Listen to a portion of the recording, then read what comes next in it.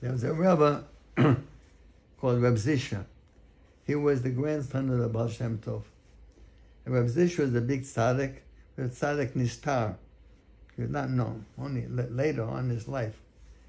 And he had a had a minhag. Every Yom Kippur, he would go to a different kfar, a different yeshuv of Jews in Ukraine and Poland, and spend Yom Kippur over there. They say one year he came to a certain yeshuv, and he walks in right before the Kol Nidre, and he sees there are eight Jews. He's number nine. He says, "Don't have a tenth person, tenth Jewish." And this, no, we're eight. You're nine. There's no ten. He said, "There's no Jew here, Bechlal." He said, "There is a Jew here, but forget about it. He's the muhtar of the town, like the mayor, but he nothing. He's married to a shiksa. He goes to church. He hates the Jews here. There's nothing Jewish about him, Bechlal. Forget, not a chance in the world. He says, okay, I want to speak to him. He goes to the house of the mayor, knocks on the door, bring him in. He sees he's a Jew, pious and a beard. He says, what do you want? He says, tonight is Kol Nidre. We have nine people. We need a tenth one. You're the only one in this town that can make the tenth one. Get out of here. I don't want anything to do with you. Get up. Throws him out.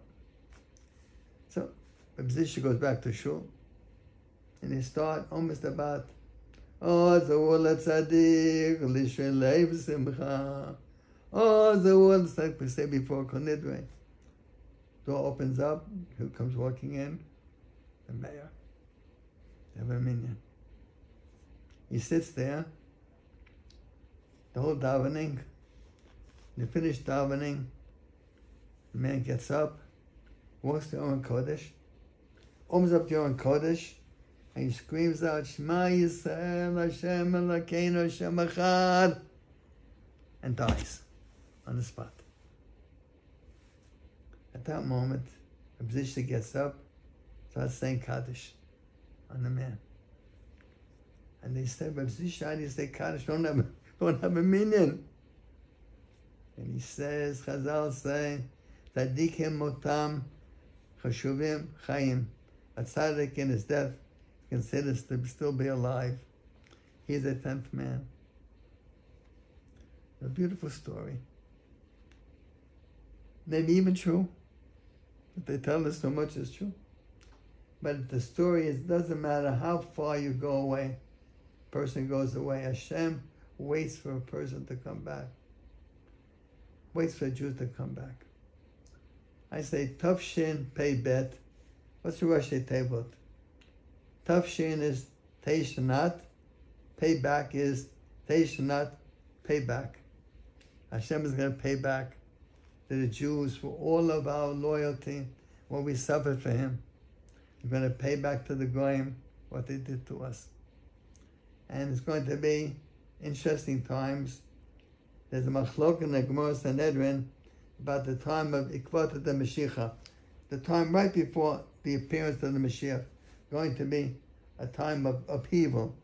And one rabbi says, Yete, let him come, Veloch mine, but I don't want to see him.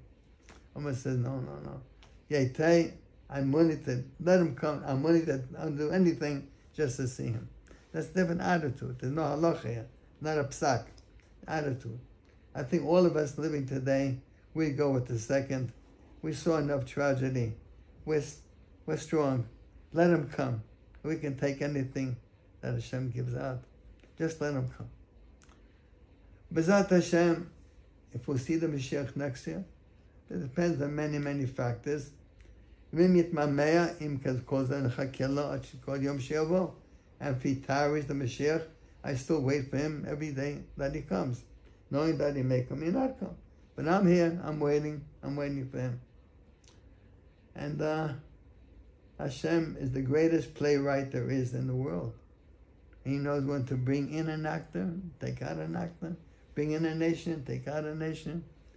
And but we don't know, we have no idea what's going to be, but we do know one thing, that Hashem, whatever Hashem does, is to advance the Jewish people, to that point in history that he wants.